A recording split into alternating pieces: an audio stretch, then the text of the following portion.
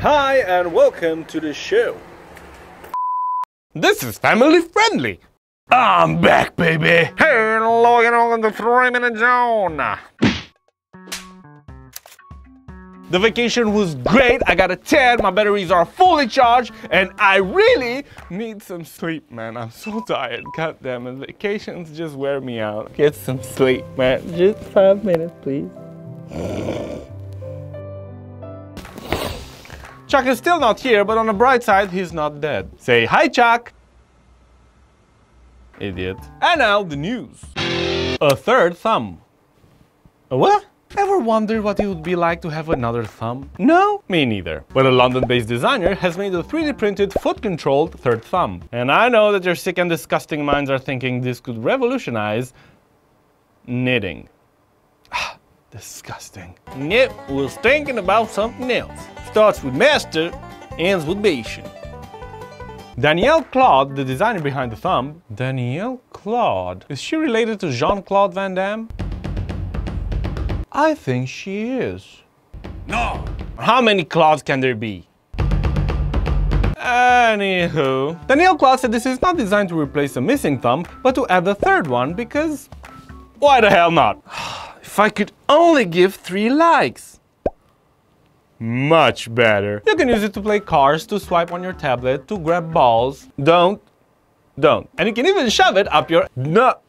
Don't. We already have foot control robotic arms, now a foot control thumb. Pretty soon you'll have stinky feet control your mind. Hmm, it's already happening. Uh, I don't know what I said. Uh, I don't remember.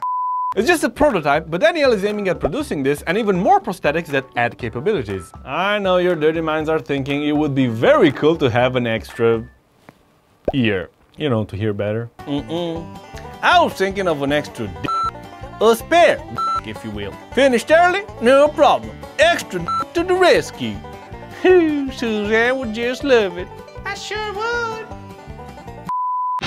LED eyelashes. What?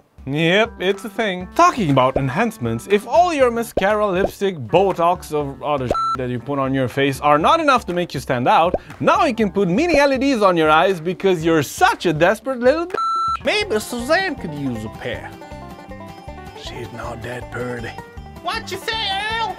Love you, honey.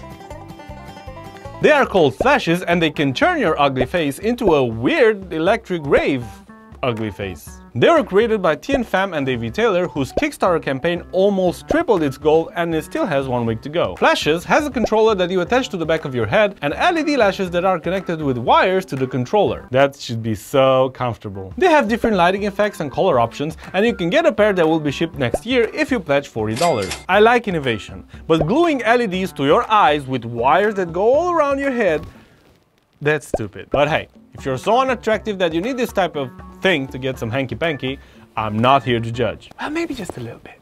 LEDs don't make you interesting or attractive. You know what does? Your thoughts, your dreams, your aspirations. Get the f out of here. Oh my god, I just thought of something. Batman is wearing flashes under the mask. A phone made by Red. Well, this is actually amazing. Red is a high-end video camera producer and their equipment is in the top preferences of the Hollywood filmmakers. For example, Red cameras were used to film Fast and Furious 8, Guardians of the Galaxy 2, and A Dog's Purpose, which is a film about a dog and his purpose. And that purpose is licking his own Anywho, Red has announced that they will make the first holographic display-equipped smartphone that can let you watch 3D content without glasses or a headset. That is some alien right there. It's called Hydrogen One. It will be powered by Android and allow users to view traditional 2D content, holographic content generated by a new Red camera, stereo 3D content, augmented reality in 2D and 3D, and a new H3O algorithm that converts stereo sound into expansive multi-dimensional audio for 3D content. Oh my god. What the hell of a language are you speaking? My head hurts. If they deliver what they promise, it will be epic. They will also have a red channel to upload or download holographic content. And yes, Hydrogen One will have a headphone jack. Oh, headphone jack, oh, headphone, oh, headphone. The Hydrogen One is set to be released in the first quarter of next year and it will be priced at $1,200 for the aluminum model and $1,600 for the titanium. Oh, ah, I feel the burn in my wallet. Shh, shh, shh. We're not buying one. You know I'm a cheap bastard. Relax. That's a lot of dollars. But maybe it's worth it. Who knows? $1,600? Cool! Dang! For that kind of money, I can get the Weber Genesis 2 LXS 440 grill. Best grill for the roadkill. This is the show. Thanks again very much for watching. Remember to subscribe if you haven't. Leave a comment and tell us what do you think about the red camera, the flashes, or even the extra thumb. I'm John. Until next week, keep it safe and secure. Cheers! Oh, I shouldn't have bought those lashes for Suzanne. Cause she's still ugly, but now she looked like she had headlights. It creeped me the f out. What you say, girl? Love you, honey.